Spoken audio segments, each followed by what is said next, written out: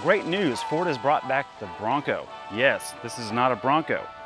But with Chevrolet watering down the Blazer nameplate, Kia is doing its part to bring the K5 back. So what is the Kia K5? Well, it's the new Optima, plain and simple. Now, I don't know that the Optima needed to be renamed, um, but it has been, so here we are.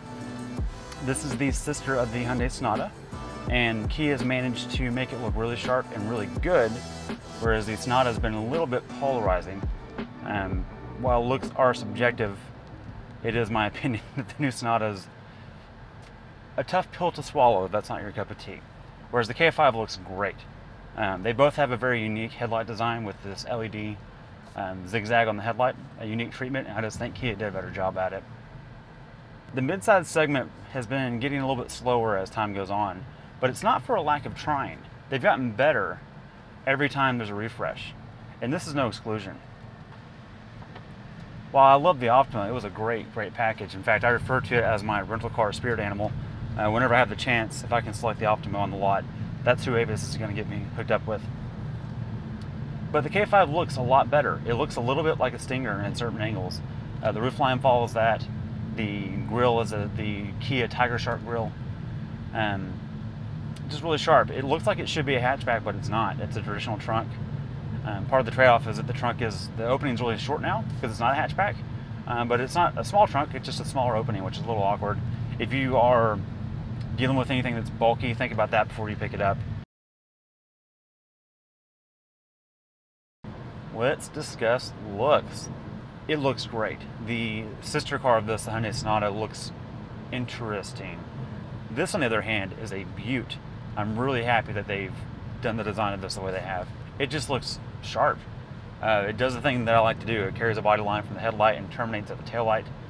This GT line has an LED center bar, kind of like the Chargers did in the early 2010s. That same option is here now. The GT line is a $400 option over the base model of the Kia K5. And for that, you get better wheels, you get a better paint color option, which is this blue. You cannot get on the base trim. You get better seats, and you get this D-shaped steering wheel uh, with good leather wrap on it. It just seems like a no-brainer to me. The base trim comes with the base wheels, which to me look like they were designed with the intention of making the car look cheaper. So just spend the $400 to get the better wheel and tire.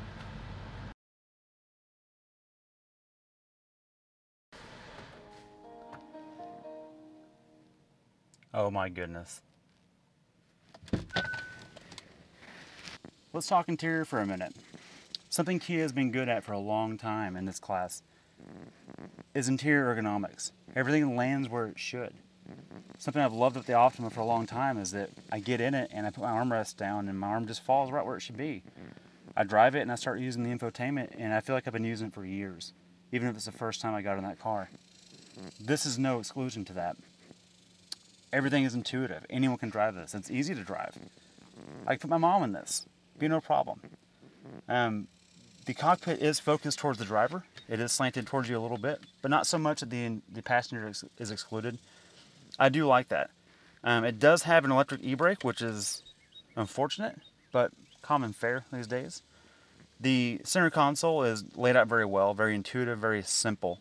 Um, you have a charging port, USB port, and a traditional 12 volt outlet. You have your lane keep assist controls over here, um, and your trunk release on, on the side. Other than that, uh, interior material choices are okay. They're not the best out there, but they're not the worst at all. There's no rattles, there's no creaks. It doesn't feel cheap, but it doesn't feel high end, and that's that's okay. At 25 grand, I think it's a really happy balance that Kia struck. The speaker grill, this is the base stereo in this car, but the speaker grill mesh looks pretty cool, and I feel like on the higher trim they're going to accent that.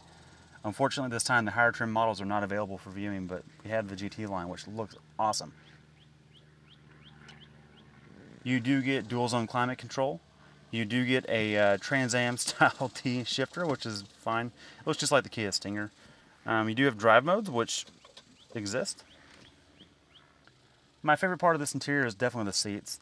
They are just supportive enough to make you feel like you're being hugged, but not enough to annoy you. They're very comfortable. Before we get too far into this, I'd like to thank the guys at Moritz Kia in Fort Worth. They supplied us this car today. Um, these are not available yet in the press fleet, so thank you very much for that. Hope you enjoy it.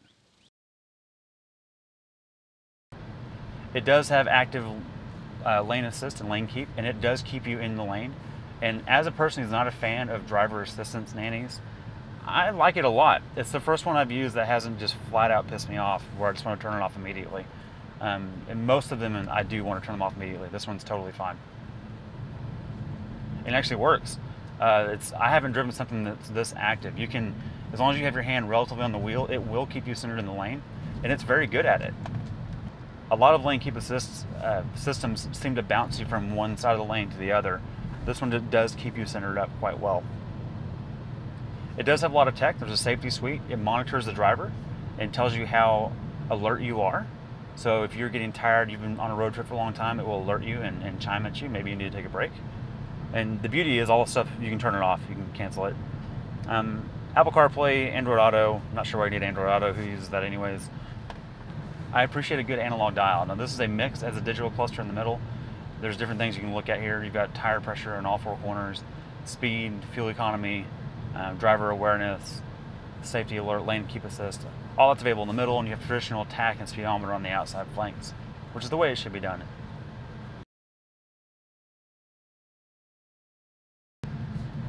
Like most cars in this segment, they have grown. Oh, have they grown. Um, the rear seat legroom in this, to me, feels better than a Kia Stinger. That's how much longer it is. And the Optima wasn't small to start with. Now, the trade-off of that wheelbase is that it doesn't turn in quite as well. Um, I've had the chance to drive a lot of Optimas over the years, and um, mountain roads, interstates, cities, you name it. And this doesn't feel quite as nimble as the Optima. Um, but for the majority of buyers, they're not going to notice that or even care. I'm just the weirdo that looks for that kind of stuff. Not to say it drives poorly. Now the chassis does feel a little stiffer than the Optima was, and um, the Optima was no slouch to start with. Let's open it up. That's opened.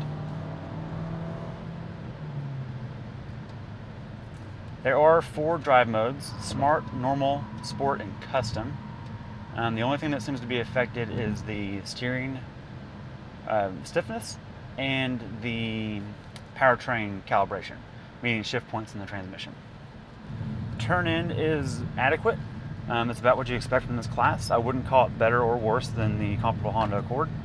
Um, understeer will rear its head. It is there. Um, with a long wheelbase, it does not want to rotate at all, uh, which is okay. This car shouldn't be doing that anyways. It's definitely par for the course. This is the 1.6 liter turbo. There are two engines available, this 1.6 and the 2 liter, I'm sorry, the 2.5 liter turbo. The 1.6 liter has 195 foot-pounds of torque and 180 horsepower. And you know Kia is proud of that torque number because they, if you look on their website, they show the torque rating before the horsepower number. Um, historically, it goes horsepower then torque. Uh, find that pretty interesting.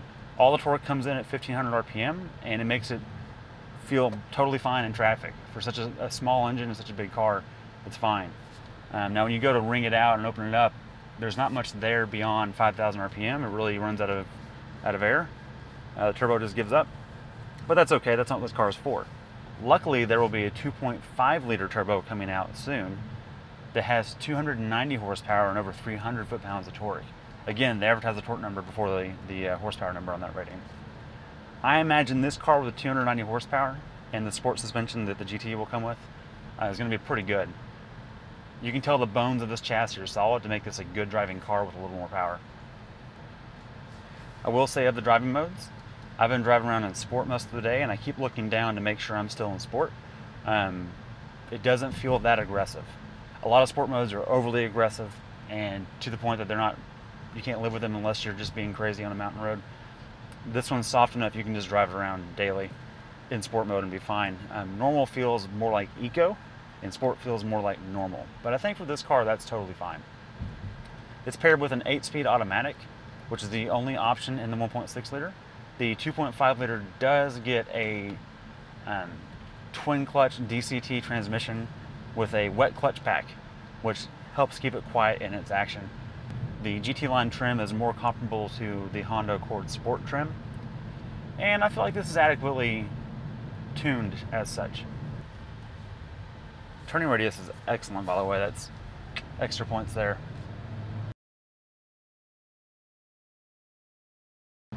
So why buy a Kia K5? Well, here's a, uh, an interesting thought. The midsize sedan segment is now an alternate choice to the midsize crossover. Not five years ago was the crossover the alternate to the traditional sedan. Well, is doing a really good job trying to make sure people realize that the sedan is still here and it's still a viable option. It gets better mileage, it handles better, it rides and drives better than most crossovers. The trade off is you do sit in a car, you're a little bit lower. Uh, your sight lines aren't quite as good as a crossover, and that's part of the trade off too. But at no point do I feel like I'm in a bunker in here. This doesn't feel like a Corvette or um, I don't know something with a low H line, H point. This feels totally fine. Um, I could put my family in this and, and drive it with, with no issues. No one's going to complain about it. I think getting in and out is quite easy as well. I mean, the door, door openings are nice and wide. I don't feel any trade-offs for this roof line, for the aesthetic and good looks of this car. I'm not paying for it in day-to-day livability. And I really like that a lot.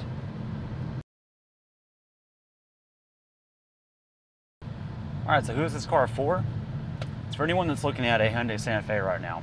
Um, I really, I really, really, really, really hope you would consider a sedan in, in line with a crossover. Now, I get it. If you're dealing with car seats and roof lines are a problem, you need to look at that. Um, as a parent myself, I can tell you right now, if you're shopping for a car, take the car seat with you, put it in the car, see if it makes sense for you or not. But if you commute and you haul kids routinely, this is a great option to consider. Um, I, I, urge you to look at the sedan in, in, general. Sedan happens to be my favorite configuration of car. Um, in fact, the reason I love my Raptor so much is that it's basically a sedan. It has a very comfortable back seat. I can take adults to lunch. I can do whatever I need to do with it, haul kids, all those things you need to do. The brilliance of a sedan, though, is that it doesn't drive like a truck. It drives great. All right, I'm going to try and give it a hipster score. I know Craig's not with me on this one, but I'm going to give it a 4. And the reasoning why is that it is a small displacement turbo, um, so it's trying to be good on gas because of that. I don't know that it's doing much better than the 2.4 would have done, uh, but I'm sure it's a little bit better. The reason why it's not getting higher than that is that it is mm, there's no hybrid option, which I find interesting. Uh, I think the Kia Niro is, is intended to take that, but in terms of the full-size sedan, the K5 is not currently offered in a hybrid configuration, so that keeps it from being a five. Um, I'm just gonna I'm gonna land on a four. I think four is healthy. In conclusion, what do we think of the Kia K5? Well, if you told me 20 years ago that Kia was going to make one of the class-leading midsize sedans, I would have told you you were crazy. Kia or Hyundai. They have this history that they've been running from for years. And I think that anyone that looks at a Kia or Hyundai now and discards it because of this past 20 years ago just hasn't driven one lately. Uh, they've come such a long way. They've got nothing to apologize for. They've done a great job with this car. Now, is it perfect? No, it's not. Uh, it does understeer a bit of the limit, which is to be expected. The interior quality uh, is, quite good, but it's there's not a lot of soft touch everywhere. It's kind of medium level um, appointments. But for 25 grand, man, it is just I mean that, that's civic money. I just it just makes no sense to me to consider something or to not consider this if you're looking for a car at that price point. If you need to get from A to B, this is a much more interesting way to do it than a lot of its competitors. It looks nothing like its competitors, and that's one of its greatest appeals. I urge you to check it out. Thanks for watching Brake Check. We'll catch you next time.